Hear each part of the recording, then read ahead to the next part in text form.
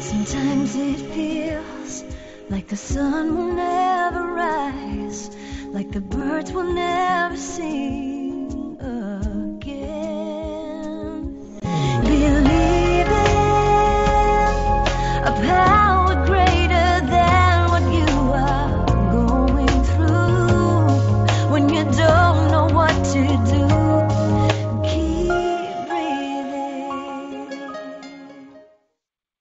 Los Angeles and the Big Apple, I'm Dave, the caregiver's caregiver, coming to you live globally on 25 audio and video platforms.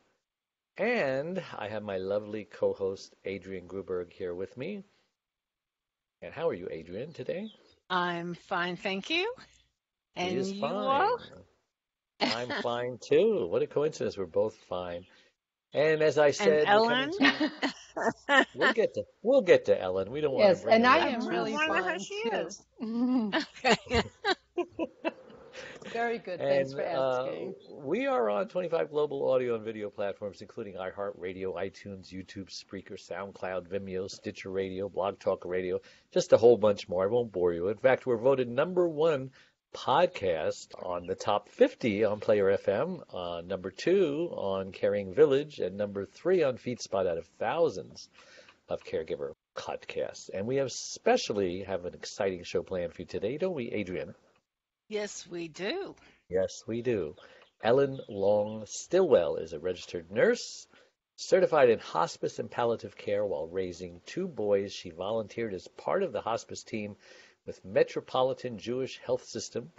She worked for several years for the Visiting Nurse Service of New York, where she cared for hospice patients and families in their homes and nursing homes, NYU Hospital and Mount Sinai Hospital, hospice patients. She's been all over the place as well as ner- working with Calvary and liaison at Weill Cornell. I hope I said that right. Transitioning patients. in- Weill. Weill. Yeah, I'm apparently I don't know how to pronounce uh, Okay. Names. Um, from the acute care setting into hospice care, she's currently working with patients and families at home. The heart of hospice. Ellen is also trained as a death doula by Mm. a Buddhist monk of all people, and currently Mm. lives in Manhattan. Ellen, welcome to the show. Thank you. Hello. Yes, you know, um, just a reminder that this show is uh, being recorded and will broad- be broadcast on all those networks and on Caregiver Dave, as well as um, all the other places that I mentioned that I didn't mention. And uh, Ellen, we like to ask our guests, who is Ellen Stilwell and why was she placed on this earth? So why don't you take that very Oh. big question before we ask you anything else? Okay. Um, well, that is a very big question. Well, I am now 60 years old, so I have been on this earth uh, for this lifetime uh, to reach the ripe old age of 60. I'm the mother of two very uh, lovely young men. My oldest son is now married, and um, I'm working currently as a hospice nurse um, and really passionate about it. You know, over the weekend we celebrated uh, Easter, and um, you know, we had a small gathering of a very large family, you know, where we are all vaccinated, the portion of us that are vaccinated. And um, so I am I am the sixth of seven children, and a small portion of us were able to get together. And I've missed everyone. So so I have um, so here on this earth from a very large family, a very large, lovely family. So the unlucky ones didn't get to meet because they didn't get their vaccine yet. Not yet. Okay. Well, let's just start with um, why are you so passionate about being a hospice nurse? How did it all start? Well, well, it started uh, actually ultimately with uh, the death of my husband. Um, Mm. my husband died in uh, 2003. He was 48 years Sorry. old, and yeah, mm, 48? you know, it's really quite 48. Yeah, he was 48 when he passed, and um, Oh. I was 42 at the time. and our Oh, children, our two boys, yeah, they were um, how when old he were was they diag well when they, when he was diagnosed, they were four and seven. Oh, Yeah. hmm So I'd have to say ultimately that's why, because after he passed, I said to myself, I'm going to be a hospice nurse. Hmm. Mm, I had been a nurse for quite So some you, time up until that point, but not a hospice hospice nurse. experience then with your husband, yes? You Yeah, saw up and how it. Yep. ran or should have run or didn't run. Were you Well, we happy with his actually, hospice care? actually, we didn't have hospice within our home until 24 Ah, hours prior to his death. Oh, Yeah, so he and I did it together. And when oh. hospice arrived in our home, I was just exhausted, and I, I, I actually felt like the cavalry had arrived. But yeah. Were he, they he, impressed? he died. W- Were Yeah, they they, impressed with what you've but he, oh, you know, it really was. Mm, I I don't know. We didn't really get a chance really to elaborate. You know, they they were going to come back the next day, and and he was gone by the next day. Oh, But Did they help uh, you? but ultimately, that's why. N- No, actually, that day they helped him. They went directly to him, and um, Mm-hmm. you know, I I think whatever that nurse discussed with him helped him to transition. Yeah. mm, Oh. hmm Yeah, but I had been a, a nurse already for so long, and Mm-hmm. um, so I had a lot of experience in the hospital with with patients dying. You know, not being prepared for death as a Right. young nurse. So um, it was ultimately really caring for my husband and his illness for two and a half Mm-hmm. years. I was just like, I'm going to be a hospice nurse. So, what did he die from? Pancreatic cancer. Ooh. My goodness. Was it genetic? Was it in his family? I mean, how did it happen? No, none of that. No, he, he, we really don't even know about. I I remember him him asking the oncologist at Memorial Sloan Kettering, you know, how did this happen? And the answer, I I can picture the the oncologist. I hear the oncologist still. Hmm. He said, "We get a new cancer every day walking through this door. Oh my We we don't have the answer as to why." Yeah. hmm But he he combated it for two and a half years until until the very natural progression of uh, the illness, you know, just took over. Mm-hmm. Well, there's so many new caregivers that come on board constantly, just like new cancers, I guess. Um, Right. especially during the COVID. Maybe some people out there don't even know what hospice is or palliative care. So maybe you can explain, hmm you know, like this is a football. You know, Yeah. start with the Well, okay. All right. So h- hospice and palliative care is um, end of life care. Hospice is specifically end of life care.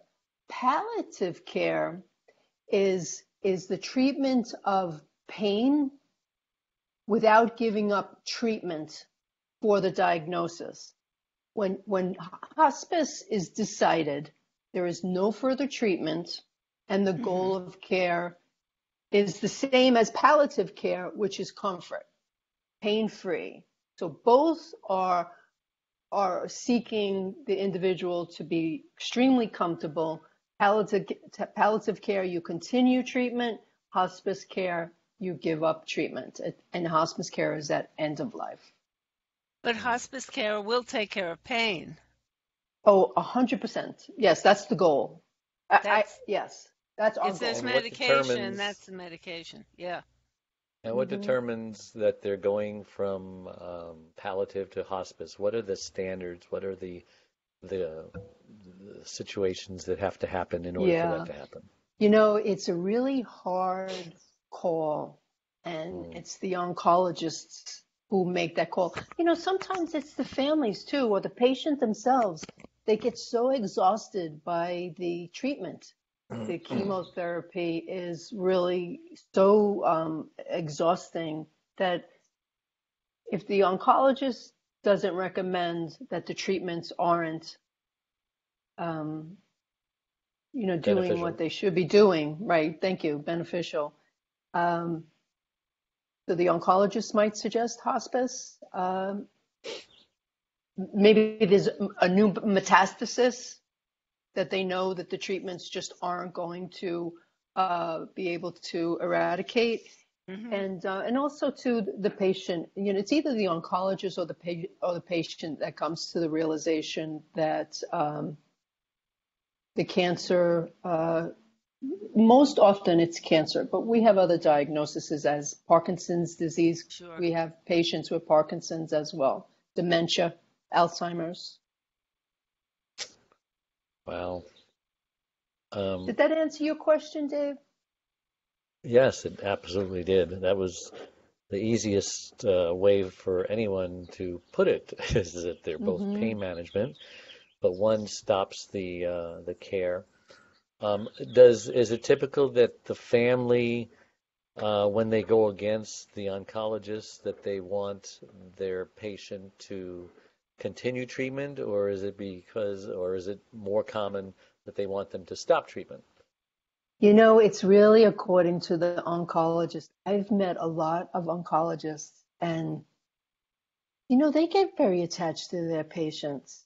So, you know, I've I've heard of oncologists really having a hard time letting go, and they want to seek Really? cure. They have so much hope. Really? Oh, really? The, these oncologists, yeah, they get very attached to their patients. And then there's others that are, um, you know, more rational and and understand uh, it's time to move along, Uh, allow the natural progression. Yeah. So what does the um, when the decision is made to go from palliative to hospice, does the Mm-hmm. family usually get depressed? I mean, how do they handle it? It, it all depends. Uh, some are relieved, Well, it really, it really, really, right. It- um, yes, it, it all depends on the family unit and the individual. And the reason why I paused was I wouldn't use the word depressed, but I, I was trying to quickly think of a, a different word. Um, it's like resignation. Resignation. Um, yeah. yeah, resignation. And um, and really, when a hospice comes on board, it's such a different atmosphere, and we're a team of passionate individuals who come into this family's life, and very often it's a breath of fresh air because we're not doom and gloom, Yeah. and um, and they're meeting this team of people for the first time, and they are making this big change of uh, from treatment to, to to you know these chemo treatments uh, are very debilitating. So when someone is recovering from chemo treatments, they actually get better, but also psychologically they get better because they have this team of people helping them. Really? I hmm didn't know that. Really, yeah. So Mhm. are there I mean, there common can be- myths? Go ahead. There can be a great feeling of relief uh, in in a family and end of life care when a hospice shows up. Yes, Um, it- Is that I've- It's often is that true. the just placebo that at- effect, kind of? No, not so much. A, p- uh, uh, there's relief for the patient, but there's also relief for the people who've been taking care of him, his family, his or her Mhm. family. hmm And um, I know when my mother was in hospice care, uh, she was at a hospice. She didn't have it at home, but they were as concerned about me as they were about her, and it was really refreshing to have that happen at that particular point in time. Yeah, and likewise, my mother who had Yes, and that's what I um, experienced. uh, my mother who had dementia also went into hospice when you know she was just uh, it started progressing and and they could have done things. And I said listen she has an advance directive doesn't want to sustain this life. She's put up with dementia for 10 years. She wants to go. So just do whatever you can to uh, hasten it. Make her comfortable. Yes, and stop treatment, Mhm. stop feeding, stop uh, drinking, and then she got a uh, an infection in her uh, bladder, as you Mm. would imagine, because you're not getting liquids. So they treated that. They gave her antibiotic, and she went quickly, and that is good, good for her, good for us. And she said her goodbyes to everybody, and and it was it was a great thing to have. It is a comfort thing. Um, any um, myths or uncommon beliefs about hospice that just is not true that you want to, you know, straighten people's minds out wherever they got these misconceptions from? Well, um, yes. A, a lot of folks won't even entertain the idea of hospice because they have misconceptions. So when hospice comes on board, we're not there to hasten death. The use of morphine is used in hospice care commonly, and even morphine doesn't hasten death. You know, used in the correct dosages, which are very small amounts given sublingually under the tongue, morphine makes our patients very, very comfortable. So that's the common myth that, and that's why a lot of people don't ask hospice. Doesn't they don't invite hospice in because they feel that it's going to hasten death. Hmm. I don't know if that's a cat wailing or a siren in the background. I have Hopefully, a it's question. not a dead cat. Yes. Um, is hospice ever called in for a patient who's not end of life? Or is Well, hospice always in? Some yes, well actually, sometimes that is actually the case. So um, two doctors have to agree on a prognosis of six months or le- less. So Okay. the, the, the, either the oncologist or the primary care physician and our hospice medical director sign consents that they feel professionally that this individual has six months or less. So that Mhm. that that allows the Medicare hospice benefit to unfold. But at this six month mark, I, I, I, go back to some people get better when hospice care comes on board. This is a team of people coming in your home, a home health aide there helping. You know, Yeah. it's really um, not unusual that a patient has to be uh, let go from hospice. Okay. And I Mhm. was going to ask you, what's the longest you are allowed to be in hospice before you're taken off? Well, I've actually had hospice patients for years um, because at this recertification time, you, you, we have to look at all this various criteria that Medicare gives us to look at, and you know, very often, you know, the patient might have a uh, a bed sore, so that meets criteria. Uh, uh, where we're treating uh, a bed sore, and very often these bed sores just don't want to heal. So that's that's something that would keep someone on uh, the under hospice care, or a recent infection, uh, as you mentioned, uh, that would keep someone on hospice care. So I've actually had hospice patients for years. Hmm. Listen, we're going to take a short break, so we'll be right back. Don't go away. We are a community of caregivers that understands and supports you wherever you are in your journey. We are a place to connect with other caregivers, but more importantly, a place to get practical, actionable help. There are lots of ways for you to get support. First of all, you can download our welcome pack. This will get you started on your Thrive journey. Next, you can ask and get answers to your questions by posting them here in our private Facebook groups. You can also get live online support by attending one of our live weekly Connect webinars. You can get practical, actionable advice by listening to our weekly podcast. You can hear and read other stories about other caregivers' experiences. Plus, add your own in our weekly Share Your Story forum, posted every Tuesday in the Facebook group.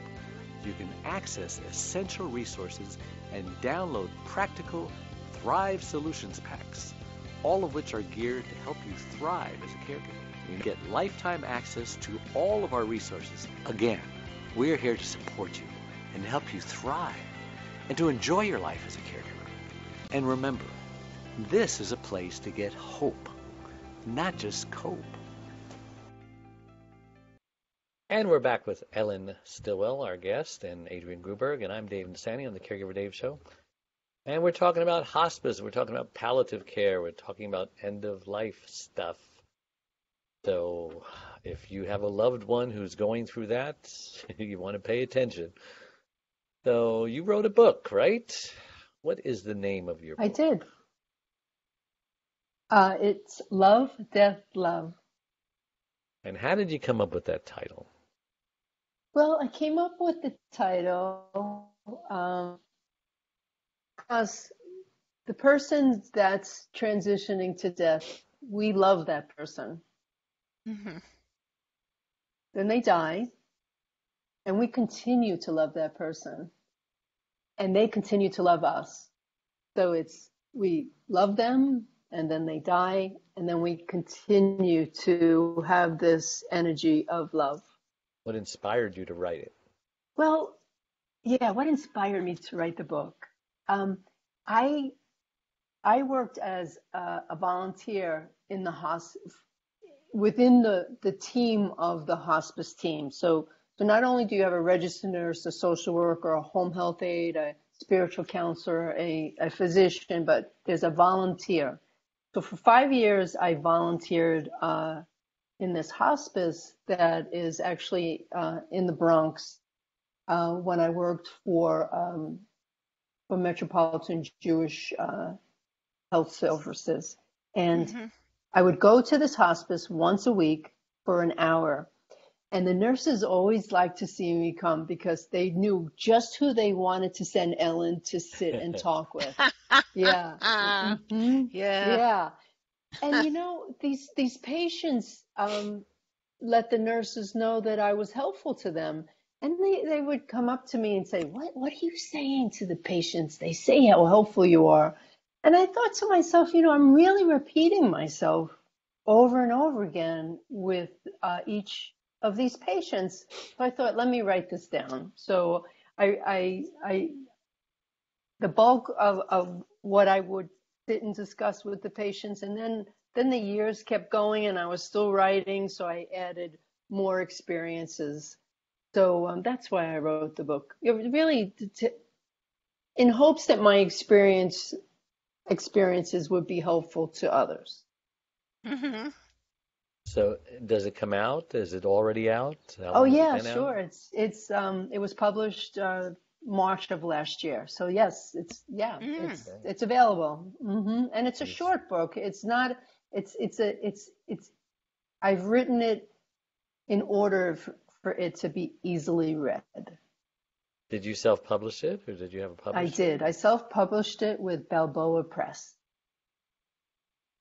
And you've been getting good uh, response about it. People are I reading it. really have. helped by it. I really have gotten a very good response. Of course, at first it was my brothers and sisters, uh, but then, yeah, and then it was friends, and then friends share it with their family members. I have a friend who um, is from Ireland. He just bought 15 books, Wow. which he he's gonna he bought one for each of his siblings. Their their dad have has already passed away, and he felt it's helpful even after the person has passed away. And then he uh, is going to gift uh, several to the hospice where his dad uh, passed away in Ireland. Mm. Yeah, he, he he got a lot of help from it, and he he really thinks his siblings and the hospice would also.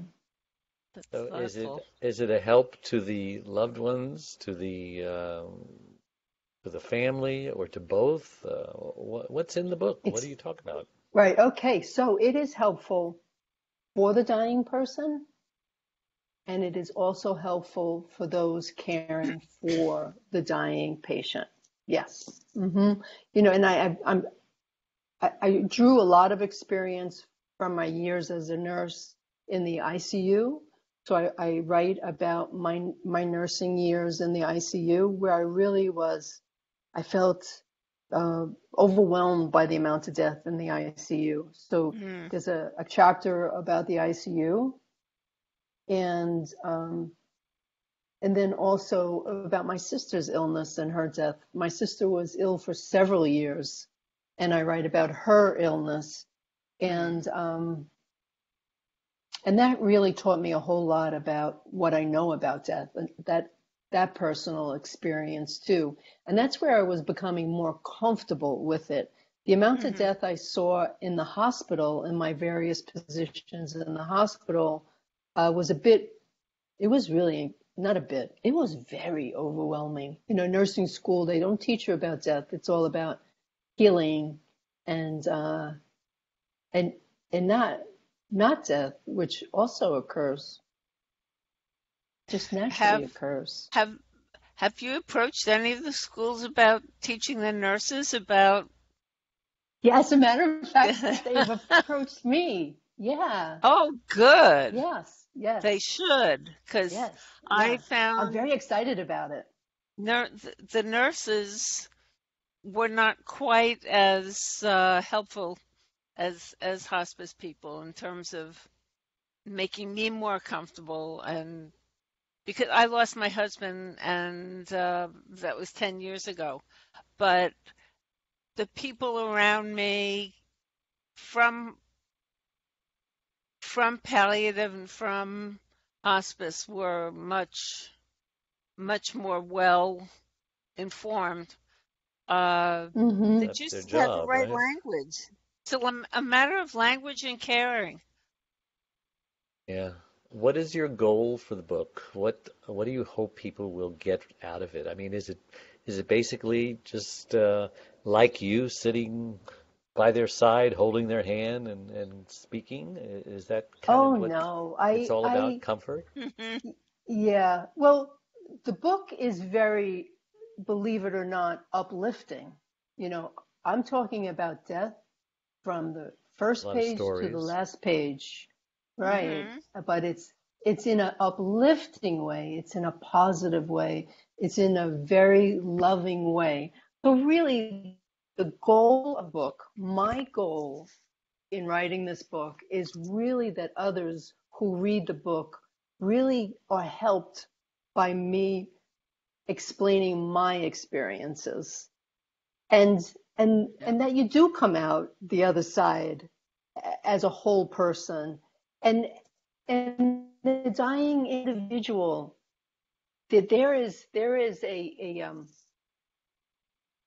ah there's a there's a journey that they're on. And and and you're on it together. So you can resist the journey to death. And a lot of people do do that. Oh yeah. But if you don't resist and you're in it together and you're supporting each other there's there's a time when you accept death. You accept that this is happening. And then then it's really this this this is the beauty of it. Once ex- acceptance is achieved then everything changes. I mean the vibe the energy the experience mm-hmm. changes because a peace pervades. And then this peace just allows this profound love to be emanating. And death naturally occurs. How does faith play a part in people's religious background? You know, I'm I'm reminded of that Twilight Zone uh, series. Uh, you hmm remember the Angel of Death, you know, who was this good-looking guy, and and this old lady, she was was her. it was it it was Robert Redford It was, wasn't it? Yes it was Robert Redford, very handsome Robert Redford. He was the Angel of Death, and she was observing him, and and every time she saw him, somebody died, and she knew he was the Angel of Death. And then he was knocking on her door, and she says, "No, I won't let you in." He says, "Please." He finally had to disguise himself as a police officer who was shot. He was begging for her to open the door, or so he doesn't die because he's, oh, you know, his wounds, he's bleeding. So he tricked her, and she opened the door, and and then she wasn't afraid anymore, and and right. uh, it it hmm it was an and that's the interesting name of the bo- movie? I'm it gonna was a yeah, have the watch Twilight Twilight that Zone. episode. Original Rod oh Sterling it's a Twilight Zone. twilight zone oh I know you've seen it. that's everybody's seen I, the I I'll Twilight have to hunt for it then. Unless Robert you're not old a young. Robert Redford then. Yeah, Yeah, I think it's called The Angel of Death. But you know, yeah. But you know what But you faith, you are really bring in right. So so f- there's two things I really want to talk about in that presentation, and faith, to, to, to directly talk about faith, it's really up to the individual. I mean, I I have worked so much I, I, with athe- atheists and um, uh, uh, Catholics and Jewish people and Muslims and um, people of uh, deep faith, people with no faith, and um, and hospice care. Although we have uh, chaplains, even the chaplains are going to meet you where you are. Mm-hmm. So um, sometimes faith is very helpful to people, and you know what? Sometimes a religious, uh, earlier religious teaching actually um, is is not good for the individual. You know, those who were taught uh, in a very harsh way about a fire and brimstone hell. Yep. You know that there's a lot of fear. There is a No, lot of fear. no so forgiveness. Oh my goodness. So I actually mentioned that in my book as well, um, in the chapter where I write about my godmother who was really brought up um, Catholic and and how she got through um, her fears. It was it was really very interesting going through it with her. And I write a chapter about Catholicism in the book too.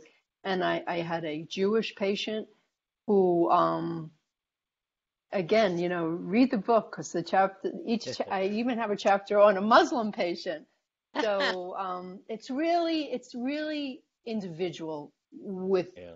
that's how I can answer about faith. But what, but what is universal in the process of dying is very often a family member would, will say to me when I come in, Ellen, something funny really happened last night. And I said, Oh, really? Okay, well, tell me about it. And they tell me that the patient is talking to a deceased relative. Or, They're talking to them, they are calling them by name. yep. And, you know, it's not like a conversation, but it's, it's um, a, a communication of some type. And a lot of people want to just say it's an hallucination. It, the medication is causing this, but it happens very often So often. and and so often. Yes Adrienne. Very very often. And i love when that happens because it's time. It's getting to be time to cross over. And and their their deceased loved one on the other side is saying it's okay. I'm here. I'm going to greet you. And it's okay. And and, and really the individual most individuals are very comforted by this not frightened some are frightened though. It happened to my husband. He was frightened. Yeah. I know that my my mother would open up to a rabbi much more than she would open up to me. So that sh Mm. the faith aspect of it was relief because she didn't have to keep it all in Mhm. and seem like she was brave and whatever. I mean, she was a Mhm. complainer, but she was able to talk to the the a clergyman in a totally different way than anyone in her family. It it was Mhm. very important. And she was very comforted. Oh yes. Yeah. Well, I can't help thinking that you've got two categories of patients: one uh, that believe in God or a higher power uh, or a creator, and and one who doesn't. And I would think it would be very easy to convince someone that God is a very loving God. He's forgiving whatever you've done, you know, whatever. But how do you comfort the person who doesn't believe in a God, who just believes when you go, it's just black and it's the end of it? It's like before you were born. Is there comfort in that? Right. Well, the comfort is in their physical symptoms as they reach that end. Yeah, we, we stay present in the day, in the moment, Yeah, and I don't mean and physical and comfort. I meant physically. emotionally and Well, some some people don't have that emotional anguish. Yeah, some people don't have that emotion. But those who do, you know, talking about it is so very, very important. Yeah. mm-hmm. Talking it out. And also the medication helps that psychic pain too. yes. Yeah, yeah. yes, Actually, there's a comfort pack. There's a com- yeah, there's a comfort pack when someone comes on board with hospice. There's a comfort pack sent to their home, and within that comfort pack, it's a box. It's it's a white box, and it has a red seal on it. Do not open. And and we don't open it until I, the nurse, sees uh, physical symptoms occurring. Hmm Psychic pain. Someone going through psychic pain Yes. is is a symptom. So there is a medication in the comfort pack. It's called lorazepam, and that really, really helps someone to to talk things out and to get through that psychic pain. Let's talk about your husband's illness and how you handled his hospice time, uh, your hmm self-care, your self-help, and all of that stuff. Yeah. Go ahead. Okay. Well, self-care for the caregiver. I, I just can't say enough about it. I would my I have I, I you know I mentioned earlier I have a very large family. My husband, uh, the oldest of seven, so we would have uh, siblings stay with him, and I would go out bike riding, and we lived in an area with hills, and I would go up the hills, you know, just working off a lot of stress, and then I, you have to come hmm down a hill too. So flying down the hill was quite a bit of fun. Yeah, really, quite a bit of fun. Um, so I also liked to hike and, um, you know, I'd like to say I ate well, uh, you know, very healthy, but that's not true. Um, taking take, taking care of myself was incredibly important to be able to um, stay present for him. Yeah. Um, which I did regularly. That bicycle riding really saved saved me and, and gave me peace of mind to to get get back into the house and uh, get right beside him because he hmm really did depend on me. Although we had so many siblings, he really did depend on me. You were lucky that way. Yes, yes, Yeah. yeah. This. Lots of siblings. We're going to take another break, so we'll be right back. Don't go away. Dave Nassaney, the caregiver's caregiver, has just released his sixth book entitled It's My Life Too Thrive to Stay Alive as a Caregiver. It was specifically written for caregivers who know they should be putting their needs first, but just don't know how. Dave is the sole caregiver to his wife, Charlene, since 1996. He knows firsthand what caregivers are going through because he is one. He now speaks all across the country, offering caregivers his amazing caregiver support package. Even the airlines tell us that in the event of an emergency, to put your oxygen mask on first before you help your child with their mask. They know that those who don't heed their advice often black out, thus becoming unable to help either themselves or their child. And caregivers are exactly the same way. It's my life too. Thrive and stay alive as a caregiver will help caregivers who are neglecting their sleep, diet, and social life and learn to put their needs first. Pick up your copy today or buy one for your special caregiver on sale everywhere and at caregiverdave.com. And we're back on the Caregiver Dave Show with Ellen Stilwell and my co-host Adrienne Gruberg, and we're talking about hospice care and palliative care and her book Death, Love, Death. And we were talking about self-care and how important it is for a caregiver to take care of themselves. Ellen was going on bike rides and walking up the hills and stuff like that. And you really can't neglect your own health, even in the midst of it. Otherwise, you may find that you need a caregiver one day, right? So, how are you now, Ellen? How did you get through burning out and all of that stuff, and and uh, Yeah. and help others Well, it really do the same? definitely, yeah. It took some time. It really did take some time. Um, I am really in a very good place right now. Uh, my children are in a really very good place now, um, which is, of course, very important to me. Uh, but it did take some time. I had to feel that grief. Uh, I was really quite angry for hmm some time. You know, um, friends of mine just really couldn't put up with my anger. And I, you know, actually they're back in my life now, but they just like like ooh ooh, it's the, like stay away from her. I was so angry. Um, but actually, it was my parish priest who met with me once a week, and he really allowed my anger. I mean, Mm. he he kids me now because I would get to the edge of my seat, and he once and he does it now. He he does it now, and he'll point at me like this. And apparently, I was getting to the edge, edge of my seat, and I was I was expressing anger. It wasn't like at him or to him, but it was No. because he he was the only one in the room, so he was Right. listening to me. He was listening to me, and um, and he, and sometimes he would fight back. He would he would maybe disagree with what I was saying, and and that was helpful too. It was a safe space to be angry, and um, actually, I met with him once a week, really for quite some time, and now we just have a really good friendship because of that. Mhm.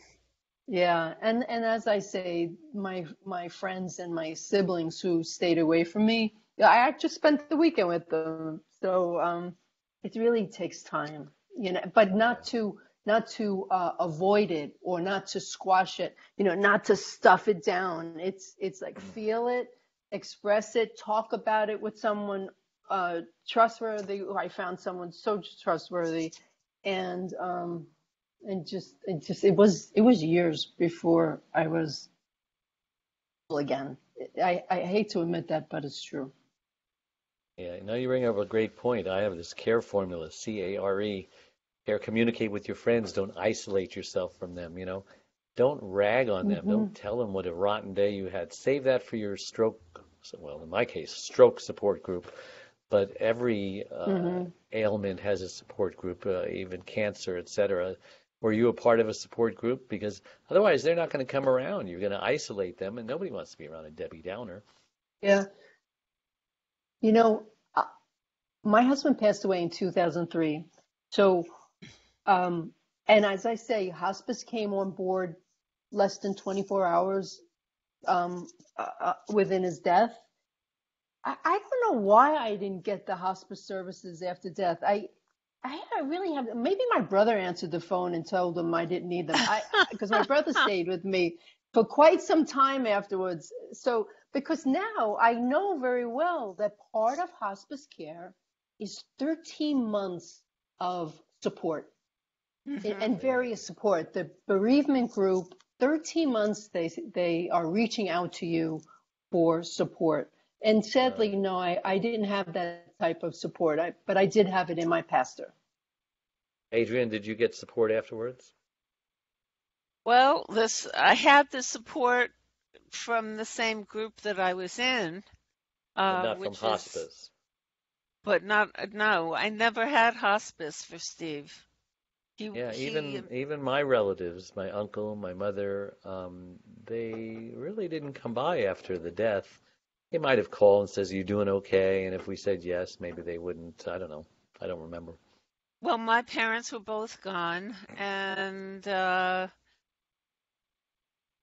I had I had a few friends who really distanced themselves, and I- could have I could have used, I suppose, hospice. There there's a there are a few grief groups in New York, you know, uh, hmm that that hmm I was going to go to, and then because I started to create the caregiver space, and I part of the reason that I was creating it was because I knew that people who survived caregiving needed the support because of that hole that's in your life. You've given so much to the person that was sick, and now they're not there.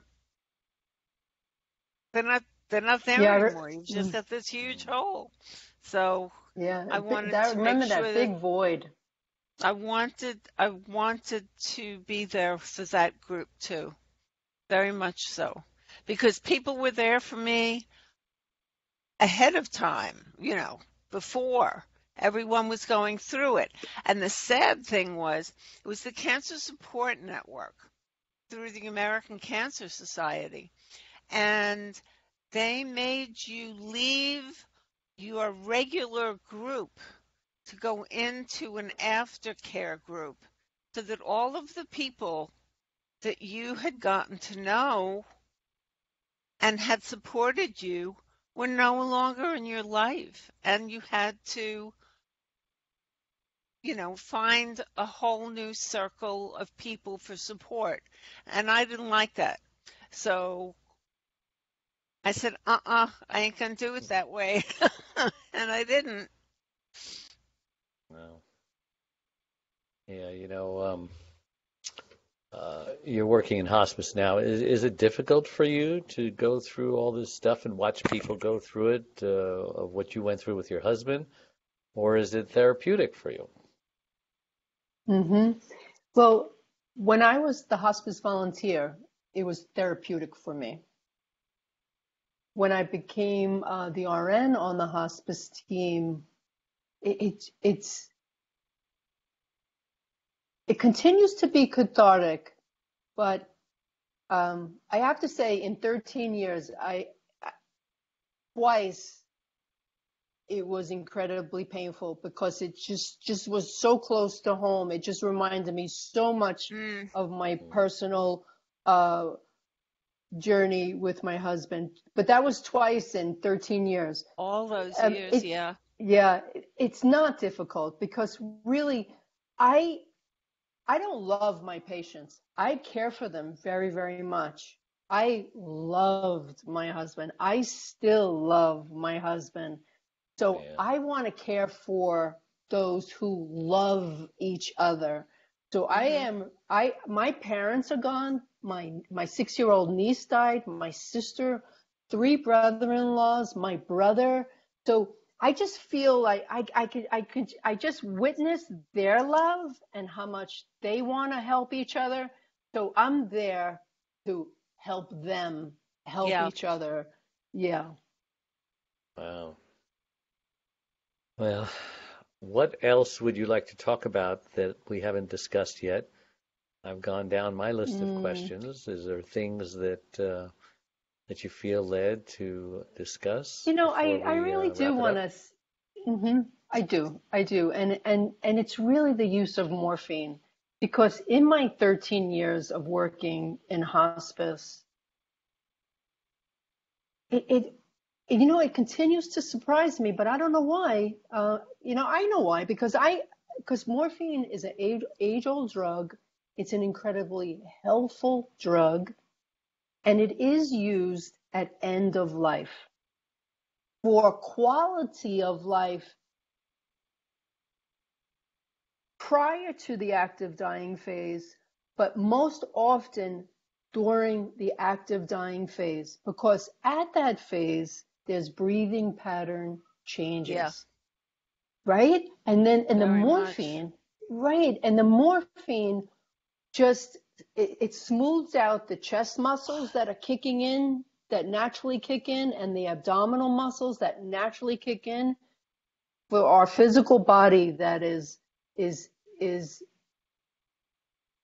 slowing down. down. Yeah and shutting down. And so naturally our body works harder at this stage. It's just it's a natural event.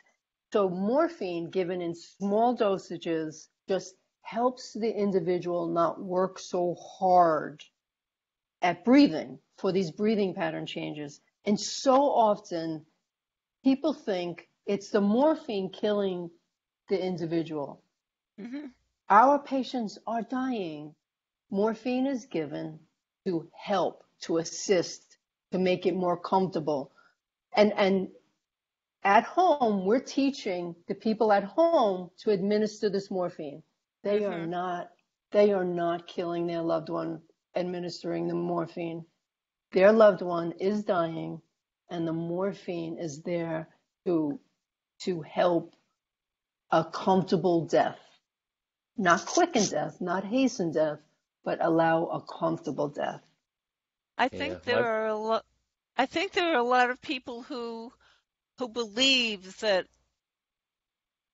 in hospice that morphine is used uh, to hasten death. I believe That's that the a lot of people myth. believe that. And yeah, Yes. that's the myth. But do you believe that some people are misusing it and doing it that way? Not in my experience. Mm-mm. Okay. Well, that's good to hear. hmm Yeah, my brother-in-law was a healthy guy. He was like 84. He was working, you know, he's in the asphalt business and and then one day his back started hurting just instantly like that. Uh, he just gave me a bid on my gas station to do the uh, asphalt. Like three days later, he was in the hospital uh, with back pain, and they found some tumors. And next thing you know, man, he had tubes coming in and out of him, and and he said, uh, "Marie, Mm. take me home. I'm not dying like this." Found cancer, you know.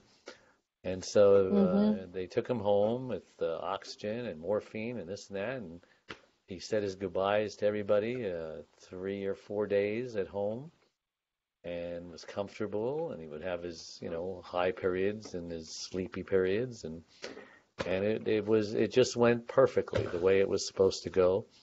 My sister didn't Lovely. have to have this long, drawn out caregiving thing. And that's the way I want to go. If you, if my kids are listening, yeah, there you go.